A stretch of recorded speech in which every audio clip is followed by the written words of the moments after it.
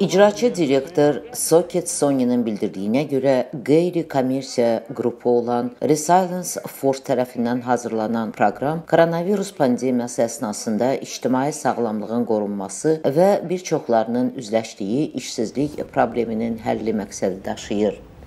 With the pandemic, what we're doing is taking people laid off Məqsəd pandemiya səbəbilə yaranan işsizlik böhranı nəticəsində işdən çıxarılan insanları dayanıqlılığa hazırlamaqdır.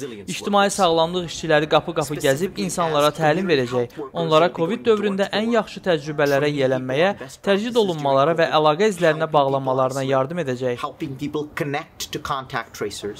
Proqram fərdi qoruyucu vasitələr, federal klinikalar, COVID test sahələri və təcili yardımla əlaqə kimi sahələrə ödənişlərdə nəzərdə tutur. Sağlamlıq təhsili və yoga təlimatçısı kimi proqramın birincilərindən olan iki uşaq atası Andrey White üçün bu təbii bir uyğunlaşmadır. Bir dəyişiklik edəcəyimi və bu anda bir çox ehtiyacı qarşılayacağımı biləcəyimi bilməklə yanaşı, özümü bu sahədə daha da inkişaf etdirmək misilsiz bir şeydir.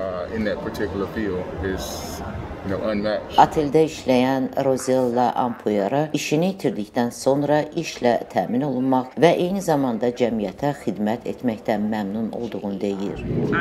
Onlara kömək etmək üçün yollar tapmalı idim. Çünki bir insan kimi məsuliyyət daşıdığımı hiss edirdim.